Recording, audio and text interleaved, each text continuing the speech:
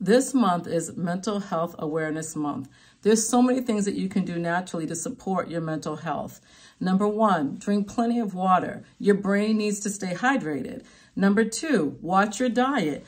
Do not put junk foods into your body and expect your brain to think clearly. It just won't, especially with sugar. A thing that you can uh, incorporate into your diet would be some good healthy fats that are found in fish, and good oils like in nuts and seeds. All those things nourish the brain and help you to feel better, feel different.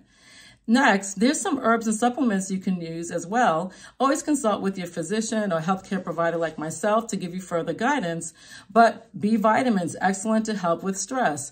5-HTP, ginkgo. If you've never heard of those things, you might want to get familiar with them. And lastly, is there a way for you to learn really what you're struggling with inside of your mind? Yes. If you go to my website, temnaqla.com, I do have available for you scans.